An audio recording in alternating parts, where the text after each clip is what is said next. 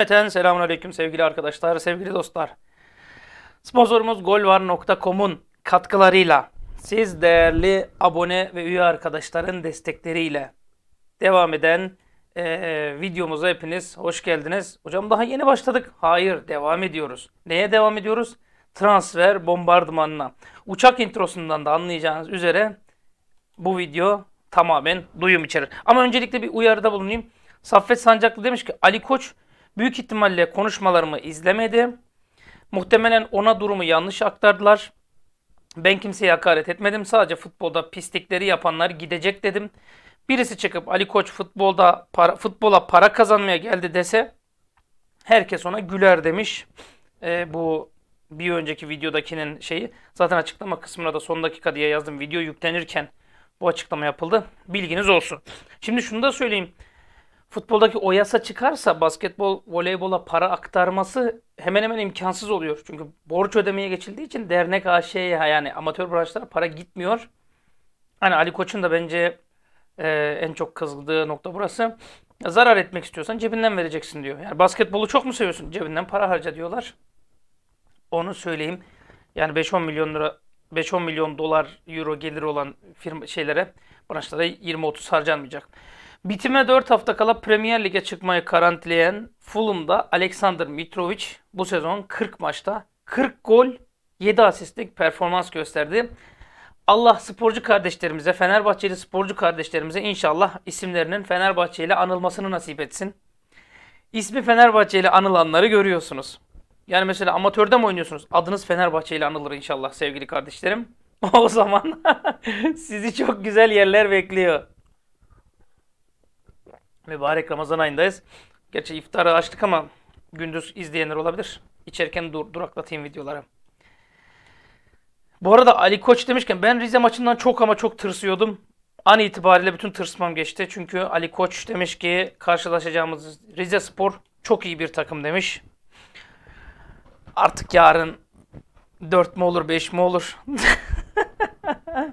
Tabii Rize Spor'a saygımız var ama Ali Koç'un bu mevzusu var. Hocam hadi duyumlar hadi ya hadi tamam. Klein Cleaner'ların Kain hocam onun adı Kyle Larin diyor. Hayır ya Cleaner'ların. Kyle Larin neyse Fenerbahçe için imza masasında demişler. Bakın arkadaşlar imza masasında. Öyle nikah masasında falan değil imza masasında. Gelecek sezon transfer çalışmaları Fenerbahçe Beşiktaş ile sözleşmesini uzatmayan Kyle Larin'i gündemine aldı. Ee, gündemine aldı bak. Şu an gündemine aldı. Kanadalı Yıldız'ın menajeriyle ilk görüşmeyi gerçekleştirdi. Henüz yeni teknik adam belli olmamasına rağmen transferin aksamaması için şöyle oluyor.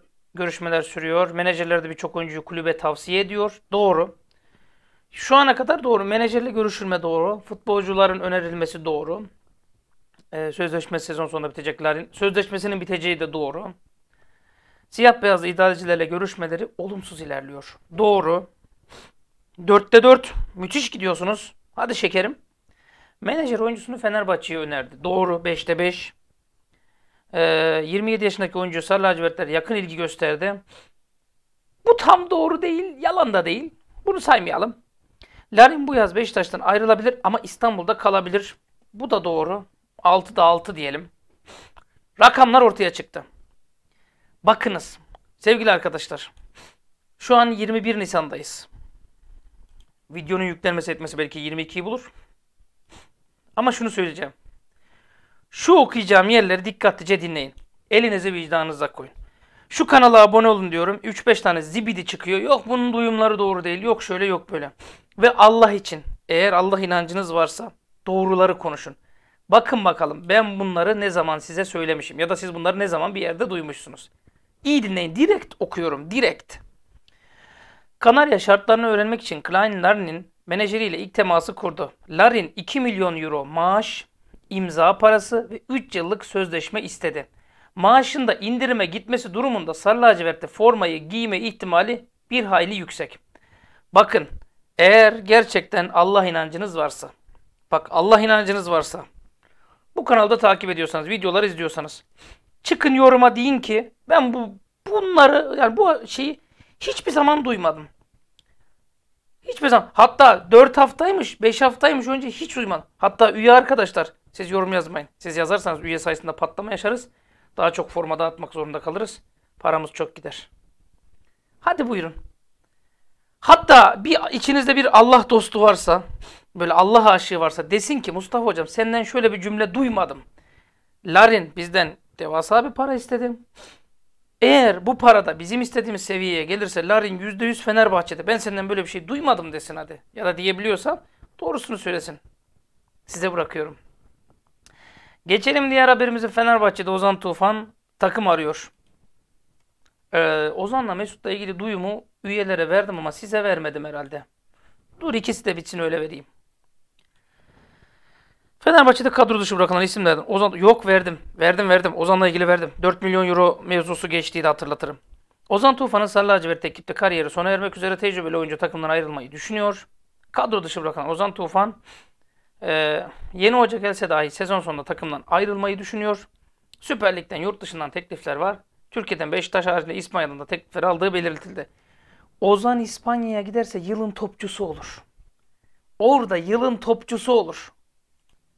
Kesinlikle yılın topçusu olur. Oraya giderse. Ben gitmesini tavsiye ederim. Ama 4 milyon euroyu getiren alır Ozan'a. Bakın 4 milyon euro. Yarın bir gün haberde 4 milyon euro geçtiği zaman yine ben böyle Allah'tan korkan, Allah inancı olanlar söylesin dediğim zaman o zaman söylersiniz. Aa demiştin evet evet. Evet hatırlıyorum sanki öyle bir şeyler konuşmuştun diye dersiniz. Mesut Özil menajeri görüşme Mesut Özil'in menajeri görüşmeler sürüyor. Şeklinde bir açıklaması var. Tabi bu videoda patlatacağım bomba çok başka. Belki başlığa o bombaların adını koyarım. Hatta güzel de bir şekilli şüküllü bir şoplu moplu bir şeyler atmaya çalışayım.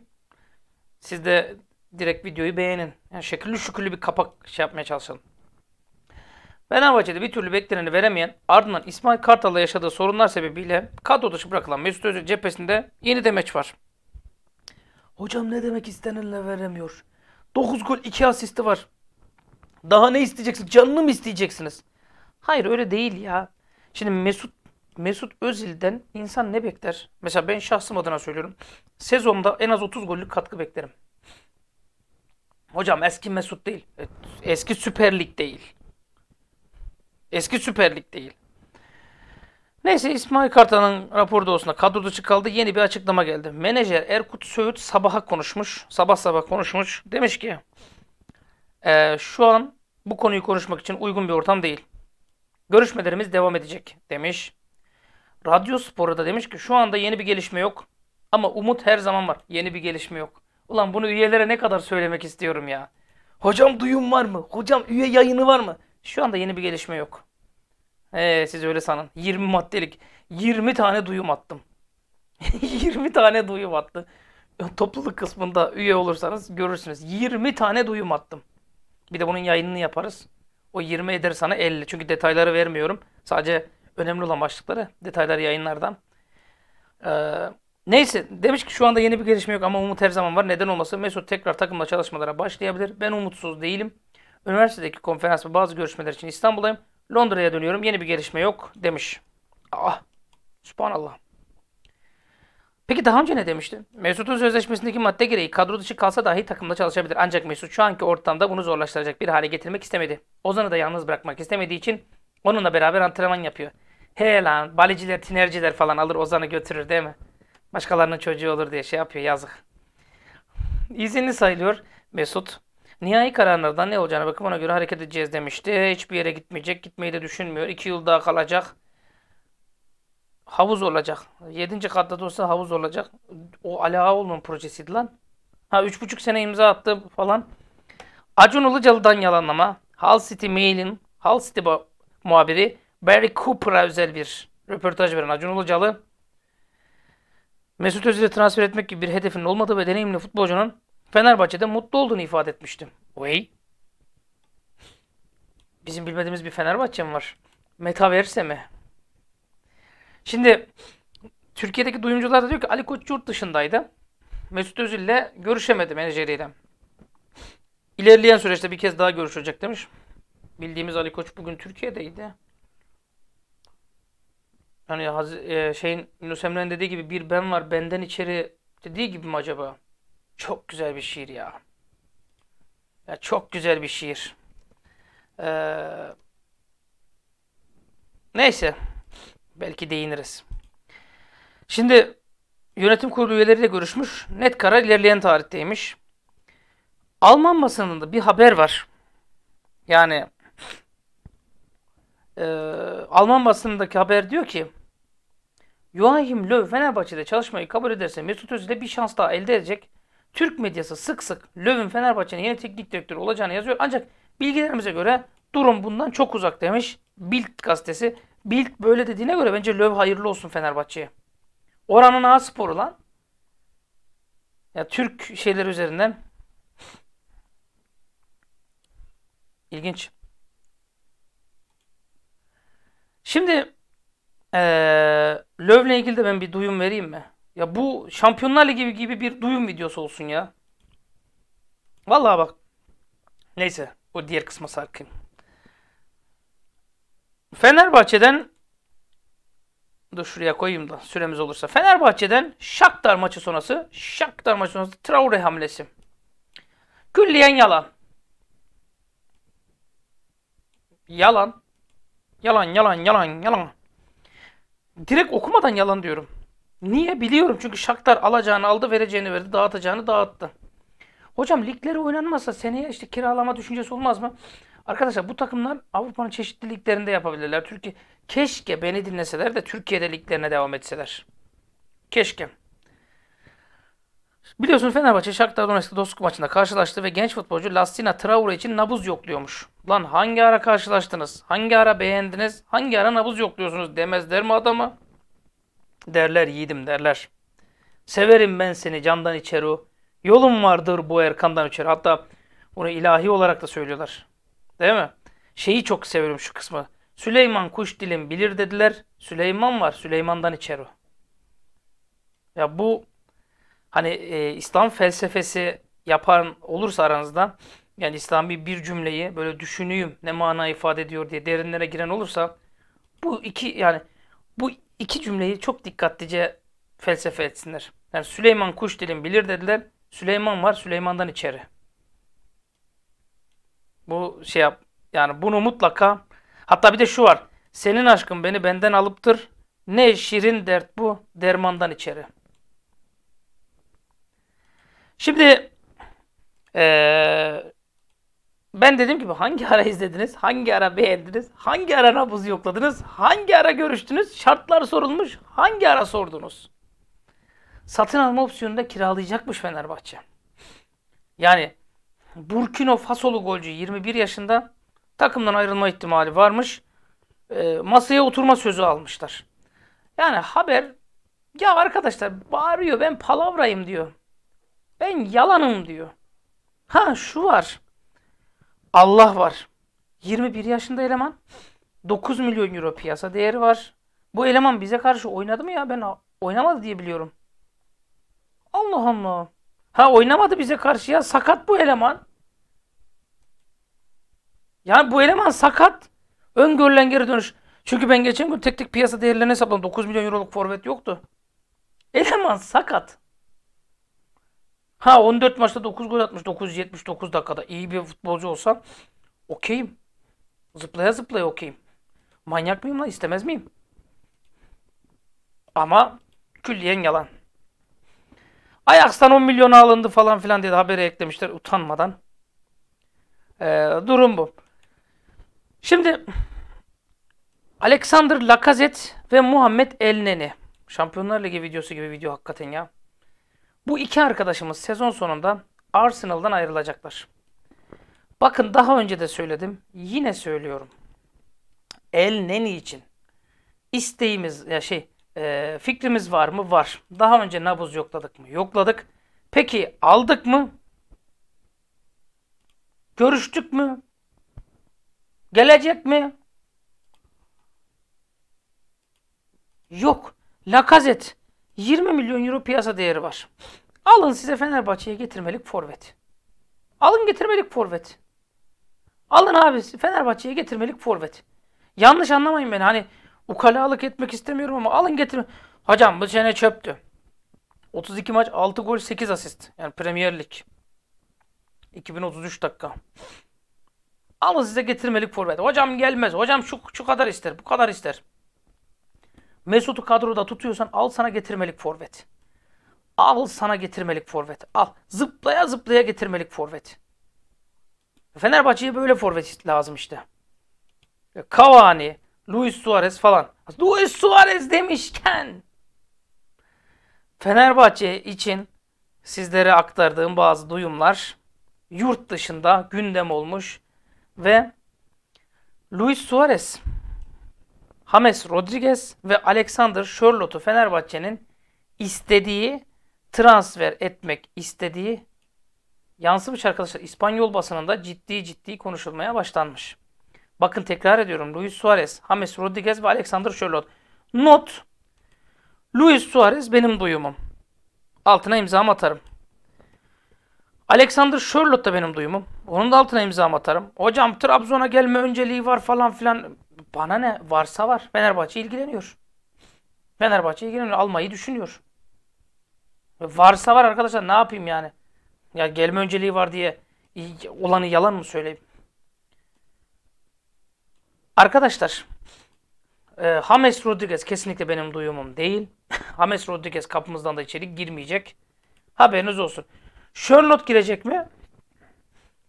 Charlotte için de Beşiktaş'ın çok ama çok güzel bir teklifi var. Yani çok ama çok güzel bir teklifi var. Beşiktaş'ın başkanı çok koyu bir Trabzonsporlu. Bilmeyen arkadaşlar için söyleyeyim. Trabzon'da fabrikaları falan var. Ya şimdi yalan söylüyorsun diyecekler. Açın bakın internetten. Yani e, bakabilirsiniz arkadaşlar. Çok şeyler var. E, çok çok ilginç şeyler var. Bakabilirsiniz. Yani ben Beşiktaş'a gidebilir diye düşünüyorum. Haberiniz olsun. Yani ben Beşiktaş'a gidebilir diye düşünüyorum. E, Charlotte için. Ama Luis Suarez için tekrar tekrar tekrar tekrar söylüyorum arkadaşlar. Yani tekrar tekrar söylüyorum. Luis Suarez birazcık indirime giderse ee, birazcık indirime giderse her an her şeye hazırlıklı olun. Tamam mı? Yani her an her şeye hazırlıklı olun. Benim çok istediğim, çok beğendiğim bir isim biliyorsunuz. İnşallah da olur arkadaşlar. Ha, hocam elle tutulur, gözde görülür bir şey var mı? Var. Luis Suarez'de birkaç kez görüşüldü. 7 milyon eurolardan 5 lira falan düştü. Yıllık ücret babında. Biz onu daha da düşürmeye çalışıyoruz. Düşer mi? Atletico Madrid yönetiminde tanıdıklarımız var.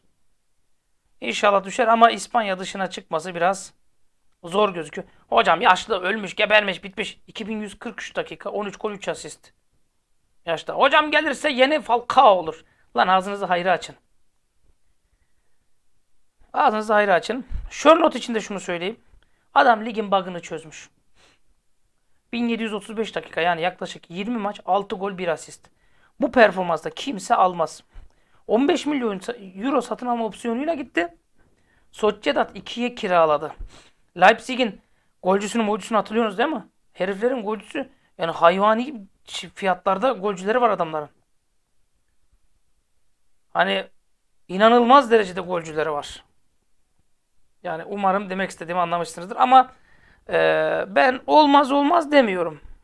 Ben sadece eee Bilginiz olsun diyorum ama ben Beşiktaş'a daha yakın görüyorum Charlotte'u.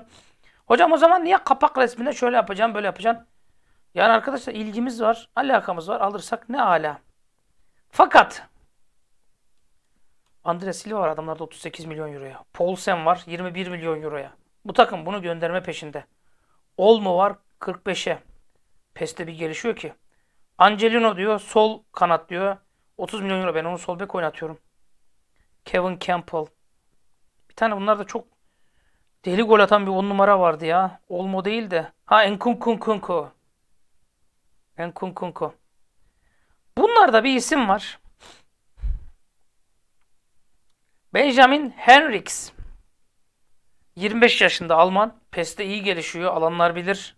Sol bekte de oynayabiliyor. Adamlar sene başında 15 milyon euroya almışlar. Geçen gün bir tane palavracının biri yazmış. Löv gelirse Benjamin Henriks liste başı. Fenerbahçe'ye getirecek diye. Kandırmayın Fenerbahçelileri. Yani Alex de Souza gelmez. Kandırmayın Fenerbahçelileri. Bu da böyle bir duyum. Başka da Sercan Hamzoğlu, Vitor Pereira sezon başında Mesut, İrfancan, Ozan Tufan'ı istemedi. Hatta İrfancan Kahveci'yi gönderebilirsiniz. Onun yerine kaliteli bir futbolcu getirebilirsiniz dedi diyor. Şimdi İrfan iyiyken bunu söylemek kolay. İrfan kötüydü abi. Dandikti İrfan. Şimdi bir, bir iki tane şey yaptı diye. Ben yine İrfan'ı beğenmiyorum. İrfan kendini kanıtlaması lazım.